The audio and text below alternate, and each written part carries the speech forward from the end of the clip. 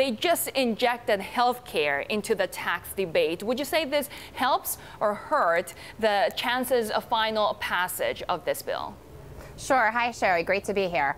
Um, I think that as I've talked with David last time I was here, the chamber has always been focused on what the contours of pro-growth tax policy looks like. Um, we're continuing to focus on that. You saw a House bill that didn't have the individual mandate, had strong growth potential. Likewise on the initial Senate bill. Um, if they have the votes for the individual mandate and it gives them the ability to provide more tax relief or to come with a bill that is more pro-growth, I'm not surprised it's part of the conversation. So, Carolyn, you have been consistent at the chamber in saying this is about growth, just the way the president says this is about growth. Absolutely. But does that make you disappointed in the fact that they're talking about cutting back on some of the tax cuts as the years go on in order to make sure they comply with that Byrd rule? Uh, sure. So I think we've always known We have revenue parameters to work within, and we're very impressed with both the House and the Senate and the and the administration continuing to work to make things as pro-growth as possible. Um, I, you know, I think that that we are looking at the big picture items. We're looking at that reduced and permanent um, tax rate for both pass-throughs and C corporations. We're looking at that internationally competitive system. We're looking at that full expensing, and really the bang for the buck that gives you in the growth space. Um, and we are encouraged. Mm, when you take a look at the bigger picture, and you mentioned this full expensing, how does the fact that capital investments, yes, as you mentioned, can actually be fully written off immediately balance itself out with the delay or, over the potential delay of the corporate rate tax cuts?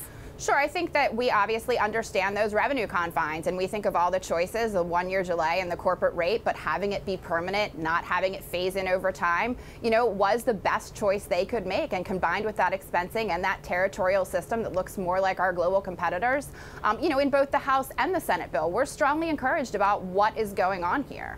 Carolyn, when you talk about growth, how much of it comes from capital investment and increased productivity? And to follow on with that question, is there a sense in which the chamber is happy with the one year delay because during that one year, they'd have 35% tax rate that they get a break on if they expensed, if you follow me, instead of just getting 20% break. Is there a sense in which this will encourage capital investment?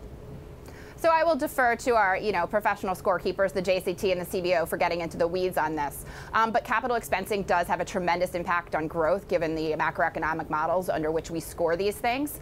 Um, I think that we've always talked about transition rules, um, and you know, to the extent that there are transition rules and we advocate for those, yes, we understand we've needed those, and we are, like I said, happy to see that rate reduction and happy to see capital expensing. Why do you need such big corporate tax cuts when, in fact, if you consider the deductions and the loopholes in the current tax system, businesses actually get a rate of close to 20% anyways. So I think that actually the OECD, that the effective rate is probably closer around 23%, but not every company gets the benefit of that. Folks, you know, some folks do have the ability to lower their rates and some folks have rates that are very close to that marginal rate. And in reality is 35% on the corporate side, higher on the individual side that pass-throughs pay simply is not globally competitive.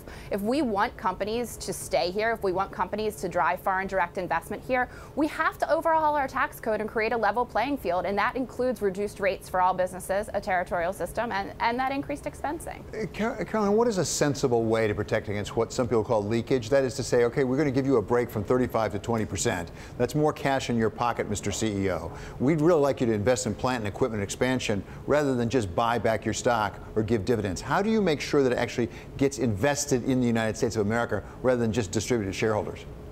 Look, I think that's that's a choice for companies to make. I mean, I think our belief is that any money that is invested in this country, whether it be in property, plant, and equipment, or through stock buybacks, that you know is positive. Um, that's their choice, um, and we just want people to have the decision and have a tax code that welcomes that capital here. It's quite simple. Capital goes where it's welcome. We need to welcome capital back to the United States with pro-growth tax reform. The Senate bill seems to have received a warmer welcome from the small business community instead of the House bill. Which one do you prefer at this point? I think, look, both of them are strong. Both of them, we saw the Fed Tax Foundation and Nonpartisan Scorekeeper come out. Both of them have almost a 4% impact on GDP growth. Both of them have a 3% wage growth impact, creating almost a million new jobs. They go about it in slightly different ways, but the big pieces are similar. You know, and in the coming weeks, we'll see them work through those differences. Carolyn, one of the things that the chamber has really been steadfast on is wanting simplicity and clarity in the in the tax code. I must say, some of these things I read about, like the pass-through treatment, I can't figure it out. I think I need calculus. Do you really believe that this is going to be a simpler tax code after they get through all this? I do believe we're going to have a transition period. We're going to have transition rules. I've, I've, David, you and I have talked about this a lot. That's where the chamber is going to very heavily play, and we are heavily playing. How do we get from here to there? But I truly do believe we are moving to a place that is simpler uh, for the majority of Americans.